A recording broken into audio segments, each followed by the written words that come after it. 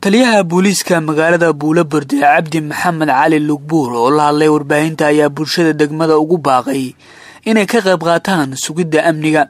Taliyaha ayaa uga digay bulshada in qof aysan aqoon ay ka kireeyaan guryaha.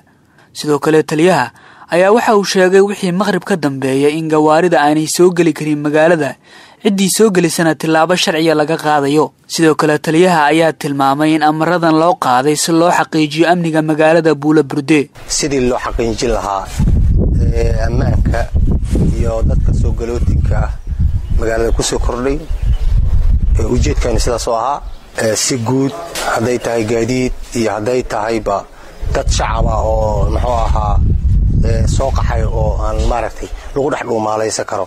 Intaba waxaan rabnaa inaan la wadaago dadka degan degmada buuliburte nabadgelyada inay nagala shaqeeyaan bedqabkooda.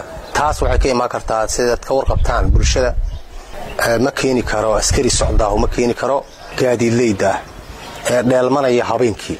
Waan ka shaqaynaa waana kala shaqaynaa ciidan gaarowna waa ka shaqeeyaa. Waxaan rabnaa inaan ogeysiino rabaa inaan halkan ka ogeysiiyo gaarigii lagu soo qabto maqrib wixii ka dambeeyo asoo socda magaalada soo galo. Xarig iyo ganaaxuu la kulmaa.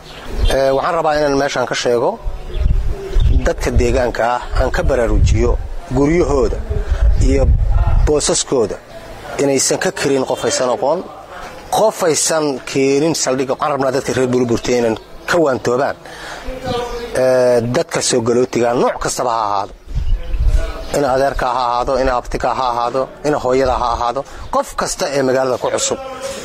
Waxaa lagaa doonayaa muwaadin waxaa lagaa doonaya inaad keenta saldhigga booliiska caddayn u qaato sidaas ayuu ku digi karaa gurigaada iyo goladaada sidaasaad uga karaysan kartaa laakiin ma fiicno mana shaqay karto qofkii ka kireeya iyo halka ku jiro ahuba oo dhagarqabaahba isla mid ay noqonayaan hadalka taliyaha ayaa ku soo aadaya xilli deegaanada iyo degmooyinka gobolka hiiraan ay ka socdaan howlgallo ka dhan ah al-shabaab.